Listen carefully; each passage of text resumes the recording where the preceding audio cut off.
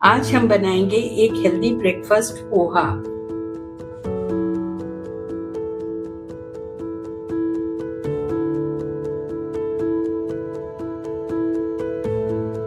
इस ब्रेकफास्ट में चावल से बना पोहा अंकुरित मूंग सब्ज़ियाँ, नट्स सभी कुछ है।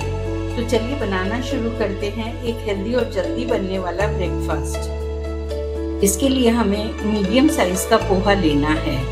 एकदम पतला नहीं लेना है। इसे हमें पानी से दो तीन बार धो लेना है और दो से तीन मिनट तक भिगोना है ताकि ये फूल जाए। ज़्यादा देर नहीं भिगोना है। फिर इसे एक छालनी में छान लेना है। अगर आपको सुबह काम की जल्दी रहती है तो ये स्टेप आप रात में भी कर सकते हैं।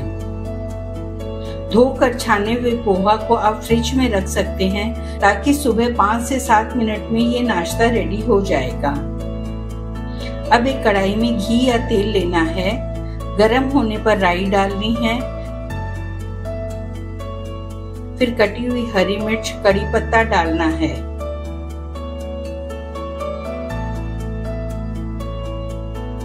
उसके बाद कटे हुए प्याज को डालकर हल्का गुलाबी होने तक भूनना है। उसके बाद आलू, गाजर, बीन्स, इन सबको डालकर थोड़ा भूनना है।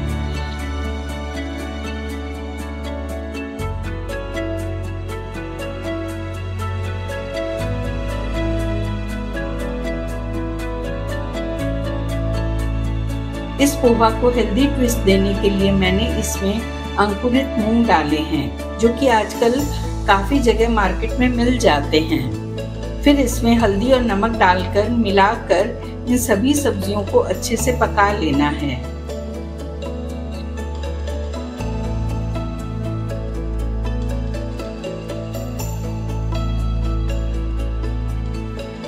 जब ये सब्ज़ियाँ पक जाए तब इसमें तैयार पोहा को कढ़ाई में डालना है और इसमें नमक और चीनी डालकर अच्छे से मिला लेना है।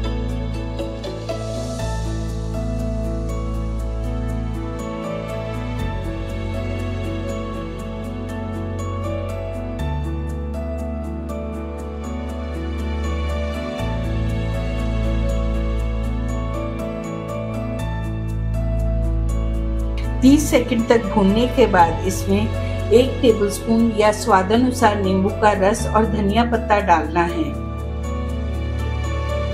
आप चाहें तो ऊपर से दरदरी की हुई भुनी हुई मूंगफली भी इसमें डाल सकते हैं। इससे पोहा में एक नटी और क्रंची फ्लेवर आता है, जो कि बहुत ही स्वाद लगता है। नट्स हमारी हेल्थ के लिए भी बहुत अच्छे रहते हैं। ये एक बहुत ही हेल्दी ऑप्शन है हमारे मॉर्निंग ब्रेकफास्ट के लिए। आप इसे कम से कम हफ़्ते में दो बार ज़रूर बना कर खाइए। और अगर आपको मेरी ये रेसिपी पसंद आ रही है तो आप मेरे चैनल को सब्सक्राइब करिए लाइक करिए और शेयर करिए। तो तैयार है ये हमारा झटपट बनने वाला हेल्दी ब्रेकफास्ट